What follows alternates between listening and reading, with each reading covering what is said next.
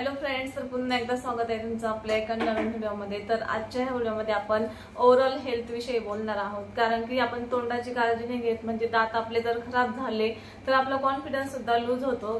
जर आपण जर बघितलं ना आपली ओव्हरऑल हेल्थ जर चांगली असेल ना तर आपलं आरोग्य सुद्धा चांगलं राहतं. तर आपण काही अशा गोष्टी यूज करतो जेणेकरून आपल्या दात खराब होतात दातांच्या ज्या हिरड्या असतात तर सेन्सिटिव्हिटी वाढायला लागते आणि अशा बऱ्याचशा समस्या सुद्धा उद्भवायला लागतात. तर एका सर्वेनुसार शहाऐंशी टक्के लोक आपल्या तोंडाची काळजी घेत नाही त्यामुळे त्यांना म्हणजे दाताच्या तोंडाच्या बऱ्याचशा समस्या उद्भव उद्भवल्या जातात. आणि आजकालची लहान जी मुलं आहे ना तर त्यांना सुद्धा रूट कॅनल करावं लागतंय. आणि जर आपण बघितलं तर या आधी म्हणजे दहा वर्ष आधी जरी बघितलं आपण तर दातांच्या समस्या खूप म्हणजे वयस्कर लोकांनाच उद्भवायच्या. पण आता लहान लहान मुलांना सुद्धा उद्भवल्या जातात. आपल्यासारख्या लोकांना सुद्धा उद्भवायला लागतात.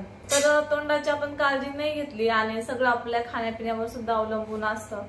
जर आपण आपली डाएट जर चांगली ठेवली दोन वेळेस जर ब्रश केला ना तर आपले दात सुद्धा चांगले राहतात. म्हणजे जेव्हा आपण जेवण वगैरे करतो किंवा चॉकलेट वगैरे खातो तर ते आपल्या दातांमध्ये तसंच राहतं आणि मग त्या समस्या उद्भवायला लागतात त्यामुळे जेव्हा आपण म्हणजे असं काही खातो तर गुळण्या वगैरे केल्या पाहिजे किंवा त्यानंतर दात वगैरे पण घासले पाहिजे. म्हणजे दिवसातून दोन वेळेस तरी दात घासले पाहिजे जेणेकरून आपला आपले दात चांगले राहतील.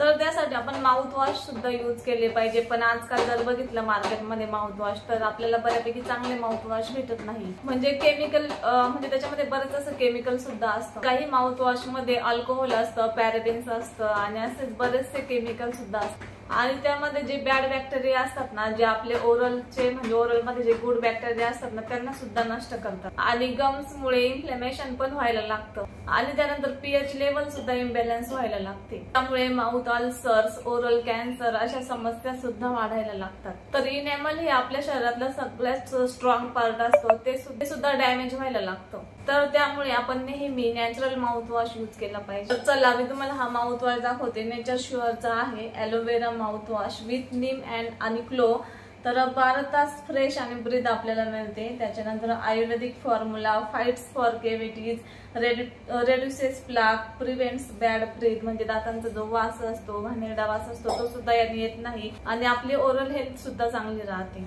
तर हे हंड्रेड पर्सेंट नॅचरल आहे आणि झिरो पर्सेंट त्याच्यामध्ये केमिकल आहे.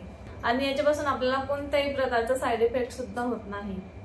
तर सगळ्यांनाच माहिती आहे ॲलोवेरा हे आपल्या हेल्थसाठी किती चांगलं आहे ते. तर याच्यामधील अँटीबॅक्टेरिया अँटी फंगल आणि अँटीसेप्टिक प्रॉपर्टीज असतात ज्याने आपल्या दातांमधल्या हिरड्यातून जे रक्त येतं ते सुद्धा येत नाही. आणि जो सेन्सिटिव्हिटीचा प्रॉब्लेम असतो ना तो सुद्धा बरा व्हायला लागतो. आणि आपले दात स्ट्रॉंग करायला सुद्धा खूप हेल्प करत असतो. तर याच्यामध्ये नीम सारखे नॅचरल इन्ग्रेडियंट्स आहे. तर ते आपल्याला पायोरिया सारखे असे मोठे आजार असतात ना तर ते सुद्धा कमी व्हायला खूप मदत करतात. जर तुम्ही याला डेली रुटीन मध्ये ऍड केलं रोज हे वापरायला सुरुवात केली तर तुम्ही बघशाल तुमचे दात पण स्ट्रॉंग झालेले आहे. आणि ज्या काही दातांच्या समस्या असतील ना तर त्या सुद्धा दूर व्हायला फार मदत होईल.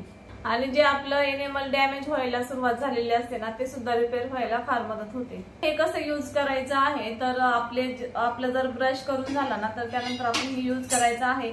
कमीत कमी वीस सेकंद आपल्या म्हणजे तोंडात ठेवून गुळण्या करायच्या आहेत तर लहान मुलांना तुम्ही एकाच एक रेशो असा युज करून त्यांना पाण्यामध्ये मिक्स करून देऊ शकता. तर नक्की खरेदी करा. नेचर शुअरचं ॲलोवेरा माउथ वॉश याच्या लिंक तुम्हाला डिस्क्रिप्शनमध्ये दिलेल्या राहील. तेथून सुद्धा तुम्ही खरेदी करू शकता.